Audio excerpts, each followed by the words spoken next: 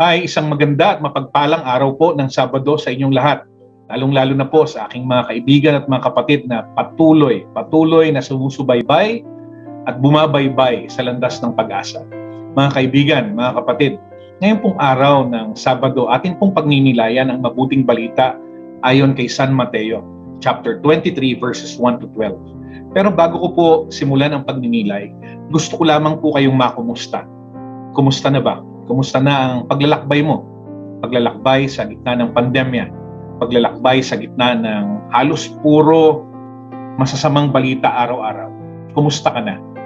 Ang aking pong panalangin ay sana po kayo po ay nasa mabuting kalagayan kahit na dumadami at patuloy na dumadami ang mga nagkakasakit at nawawala ng oportunidad at buhay sa mga panahon ngayon, ang dasal ko po habang nagninilay tayo ay sana po patuloy po tayong itaas ng Panginoon sa pamamagitan ng ating pagpapakumbaba. Patuloy rin po sana tayong kumapit sa Diyos, lalong-lalo na sa mga panahon na wala na tayo halos makapitan. Katulad po ng aking binanggit, ang ating pong pagninilay ay hango kay San Mateo, chapter 23. Alam niyo po, napakaganda po ng ating pong mabuting balita sa araw na ito kung kayo po ay sumusubaybay or nagbabasa ng mabuting balita araw-araw or umaattend ng misa, siguro po mapapansin nyo, nung mga nakaraang araw, eh, puro entrapment operation. Entrapment operation po yung ginagawa ng mga pariseyo at ng mga iskriba sa Panginoong Jesus. Ngayon pong araw na ito, sa atin pong pagninilay, makikita na natin yung, yung kahalagahan, kahalagahan ng turo ng mga batas, kahalagahan ng pagtupad sa batas. Sinasabi ng Panginoong Hesus sa mabuting balita ngayong araw, Sige, sundin ninyo ang mga katuruan at sinasabi ng mga iskriba at ng mga pariseyo. Pero wag ninyong uh, sundin yung kanilang ginagawa. Napaka talinhaga po nung mga pangungusap na yon. Ang ibig pong sabihin eh para pong mga hipokrito Hipokrito daw po yung mga sinaunang iskriba at pariseyo na nangangaral ng tungkol sa katuruan ng Diyos pero nakakalimutang isabuhay. Isabuhay po yung kanilang narinig or yung kanilang itinuturo.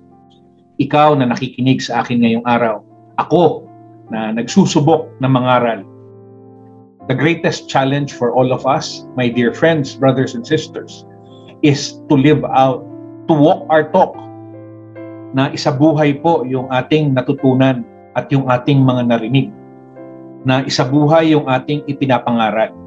Hindi lamang daw po lip service. Katulad ng bilanggit ng Panginoong Jesus, kinakailangan uh, hindi lamang yung ating mga sinasabi, bagkos mas mahalaga yung ating mga ginagawa. Kung paano natin isinasabuhay yung ating mga ipinangangaral o yung ating mga naiintindihan sa dulo ng mabuting balita ngayong araw, makikita din natin yung sinabi ng Panginoon, yung exaltation of humility or of the humble man, yung pagtataas ng Panginoong Jesus dun sa mga taong nagpapakumbaba. Napakahalaga po, napakahalaga ng pagpapakumbaba, lalong-lalo na sa mga panahon ngayon. Sa mga panahon ngayon na halos pantay-pantay na lang ang lahat. Tinatamaan ng sakit ang may kaya, ang mahirap, natamaan ng sakit yung bata, yung matanda. Ngayon po, tayo po ay nahaharap sa isang malaking pandemya. Pero po, atin po sanang isipin na kahit kailanman, hindi tayo iiwanan ng Panginoon. Kahit kailanman ang taong lumalapit sa Diyos ng may uh, panaghoy, ng may hinihingi sa kaibuturan ng kanyang puso, eh, patuloy na itinataas ng Diyos. Lalong-lalo na yung lumalapit ng may pagpapakumbaba.